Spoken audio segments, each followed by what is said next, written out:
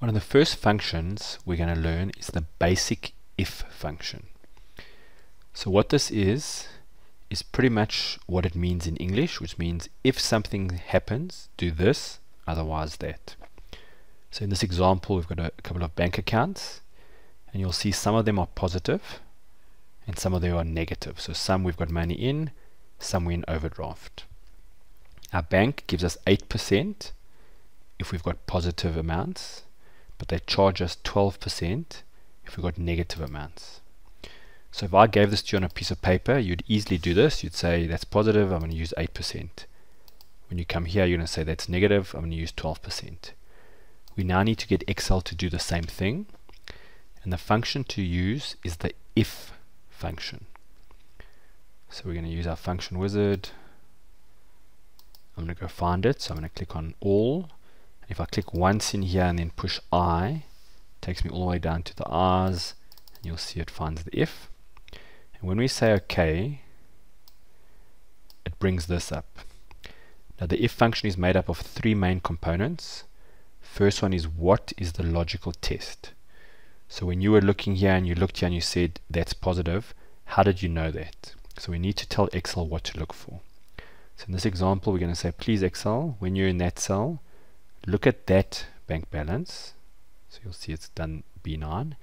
And we're going to say, are you bigger than 0? This is a very important step. A lot of mistakes happen because what people do is they click here, but then they don't tell Excel what to test.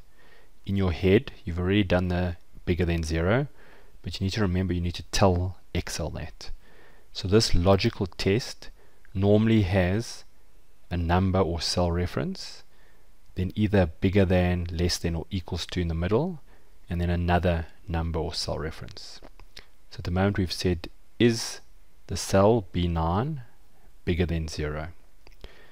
Then what Excel needs to know is what must it do if the value is true? So what must it return to you if the value is true? So we know that it needs to give us 8%. So we can either type in 8% or better click on where it must go get the information. If however the answer to this test is it's false, what must the answer be? It's going to be over here, 12%, so I can click on it. Now just because at the moment this is true, it's bigger than zero, you must realize that this can change. So you must tell Excel, here's the test. This is what must happen if it's true. This is what must happen if it's false.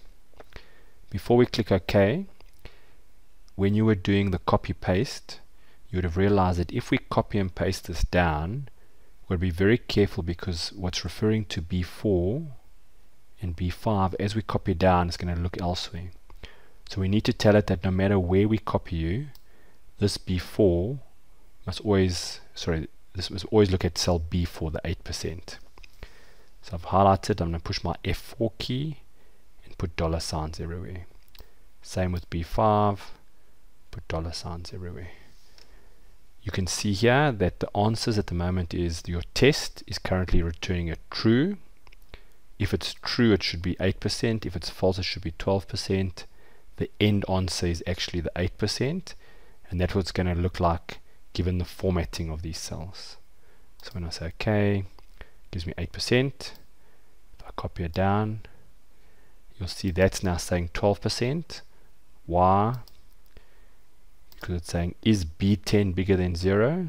There's B10. Clearly it's not bigger than 0, it's less than 0.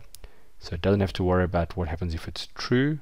It must look at what happens if it's false. It must go look at cell B5 the 12% and that's how it gets to 12%. So this is a nice basic if function which you can use. If can become very complex and as you progress in your Excel knowledge you'll find you'll do some really amazing stuff with the if function.